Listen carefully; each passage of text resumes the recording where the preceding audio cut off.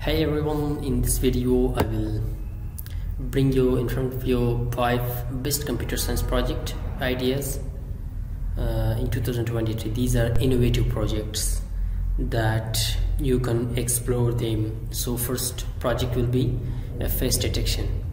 Uh, the most popular project in computer science to build a face detection system.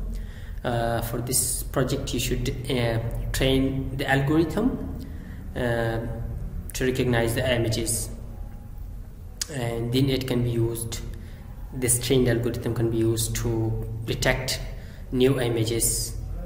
And this can be used for a variety of applications such as security system and social media apps and others. And the second project would be online auction uh, system. Uh, it is another popular project idea uh, to build an online auction system and it also can be used to sell products or services online. This system would need to include features such as bidding, payments, and shipping. It would also need to be secure so that only authorized users can access the uh, auction systems, auction site. So, and the third one would be evaluation of academic performance. Uh, this project focuses on developing a system that can evaluate the academic performance of students. Uh, the system would need to be able to input data such as grades and test scores. It would then use this data to generate a report card for each student. This project would require knowledge of statistical analysis and machine learning algorithms. And it was the third one, so let's come to the fourth one, which is which is crime rate prediction. Uh, this project involved building uh, a system that can predict crime rates in different areas.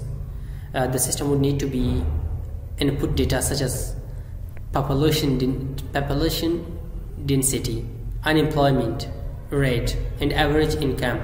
So these data should be inputted to the system, and then it would uh, then use this data to generate predictions for crime rates in different areas. And this project would require knowledge of statistical modeling and machine learning al algorithms.